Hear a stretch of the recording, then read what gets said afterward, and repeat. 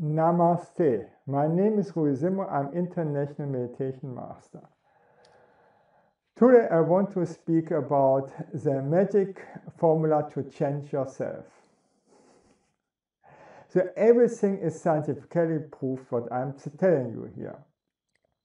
If I ask myself I'm totally healthy, totally fit, hard to beat in sports, enjoy my life and that by the age of 65 years thing is over. When I was 20 years old, I was so sick and depressed. This means we can change our attitude and our body. And this means always. People don't believe in God but in doctors and never recovered from the sickness. So they remain the same and do the same and get the same instead to change their life and attitude. If you tell them that every disease or bad body condition can be healed and that I can prove by myself, they deny it because they want to be the same. So I don't waste time on such people anymore. Eh, I just offer what I have to offer and then I just don't want to waste one second more and turn around. In this condition, if you think you can't change or you can't be healed, you are correct. it's all what you believe. What will happen if you think that you can be healed and enjoy your life? Things is over. Then you can do that too. And that is 100% scientifically proven already. No? Never trust any doctor who gives you a low chance of healing because there exist always therapies that can cure every disease. You have just to look for that, and I can prove that. You have not eh, naturally also open up your heart.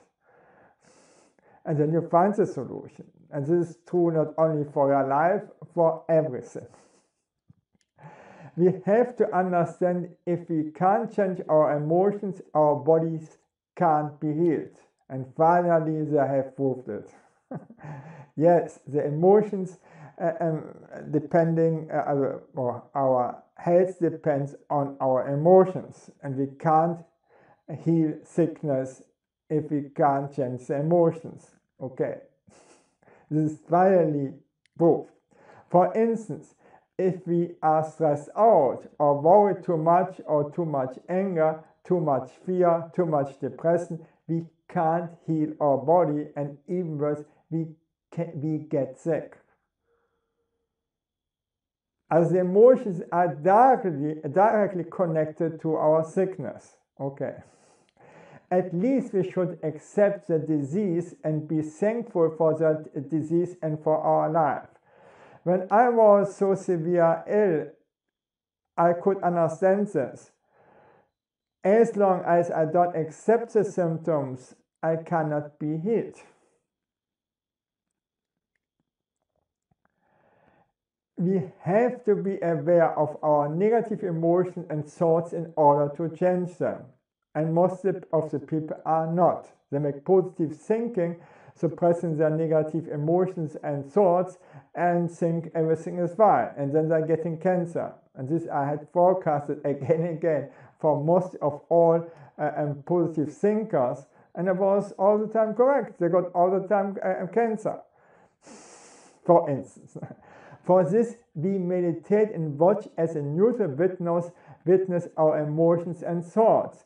This, what is meditation other than just to watch and let happen? And we should be neutral. Everything is okay. There's nothing wrong, okay? Still, we watch neutral our emotions and thoughts everything is good. Never judge your emotions, thoughts negatively.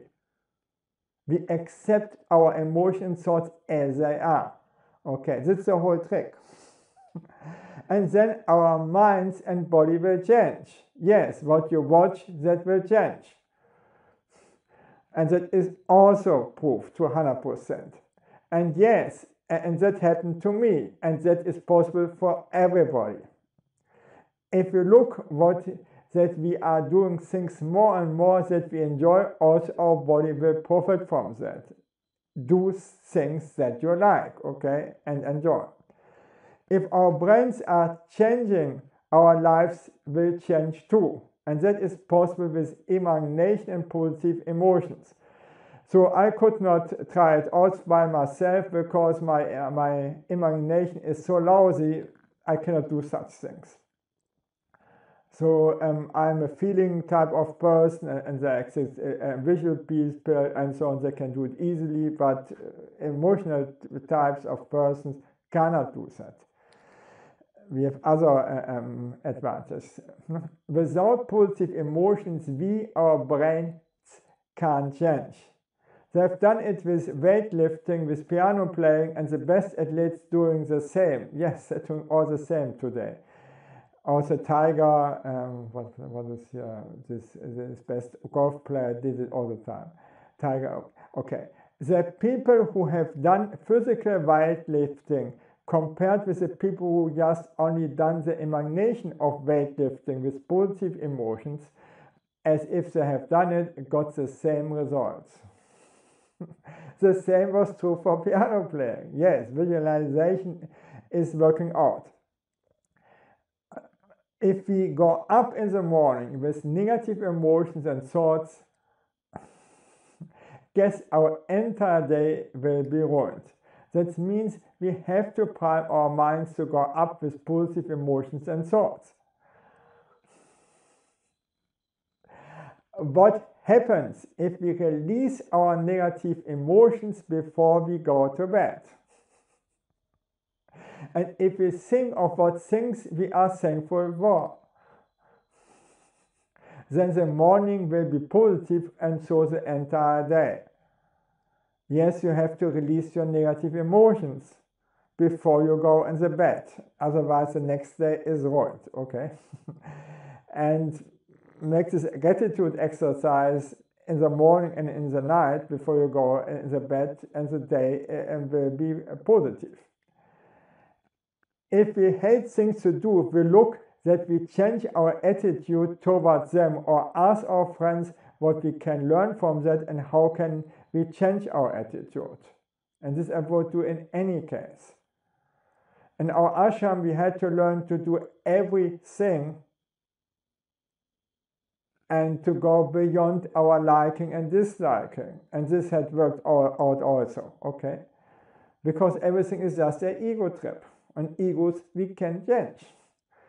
Not other egos, but our own ego we can change. Never try to change another ego. It will not work out. So everything has two sides, positive and negative, and both sides have the same size. Okay.